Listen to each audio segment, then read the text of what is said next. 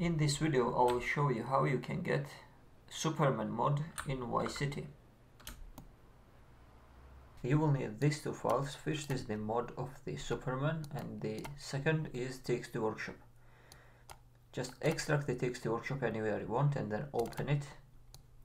Then extract Superman player and player txd press open img go to install directory of the game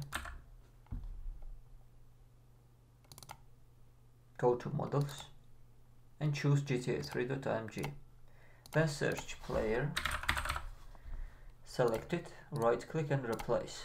Go to desktop and choose player.dff then search .txd which is player.txd replace go to desktop one more time and choose the txd file. After you do that you can play the game. That's it. Let's see if it worked.